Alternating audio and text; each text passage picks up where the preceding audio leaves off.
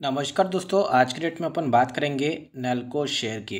दोस्तों, आज के डेट की अगर बात की जाए तो फ्लैट ट्रेड करते हुए नज़र आया है छोटी मोटी गिरावट देखने को मिली है।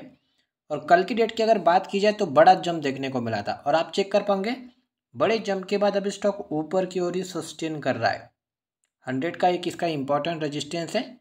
इसी लेवल से रिजेक्शन ले रहा है स्टॉक लेकिन सेलिंग प्रेशर देखने को नहीं मिल रहा दोस्तों। इससे पहले भी बड़ा जंप आया था।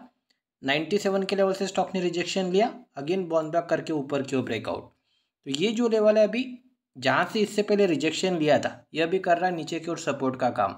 और इसी लेवल के ऊपर सस्टेन हो रहा है।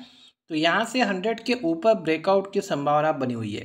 ये जो लेवल है, ऊपर की ओर अगेन ब्रेकआउट हो सकता है आने वाले वीक में। तो अगर छोटी मोटी गिरावट आती है तो नाइन्टी सेवन पहला सपोर्ट लेवल रहेगा। जब तक नाइन्टी फोर के ऊपर है तब तक अभी अपसाइड की ही संभावना बनी हुई है। तो इसी लेवल पर नज़र रखना है हंड्रेड के लेवल पर। हंड्रेड के ऊपर अगर स्टॉक ब्रेकआउट दे गया तो फिर उसके बाद वन ज़ीरो फोर अगला टारगेट रहेगा और वन ज़ीरो नाइन तक के लेवल यहाँ से शॉर्ट टर्म में नैल को शेयर दिखा सकता है।